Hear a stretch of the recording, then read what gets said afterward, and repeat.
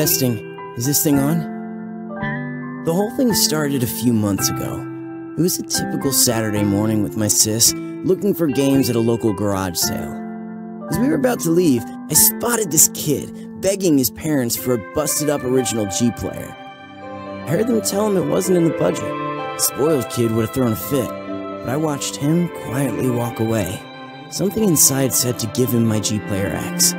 Kid looked at me like it was Christmas or something. The owner of the house was watching me, and she handed over a giant box of play type cards and some hardware. Looked like a bunch of amazing junk at the time. That was the same day our landlord stopped by. He just sold the building, and we had one month to get out. Jumei was devastated.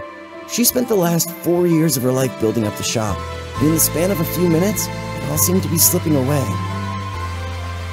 Honestly, if it wasn't for my friend Rob digging through the box, we might have forgotten all about it. And what happened next changed our lives forever. Why am I recording this? Well, we've gotten ourselves into something deep, and this is what the hero always does in movies. Let me tell you about the MASH machine.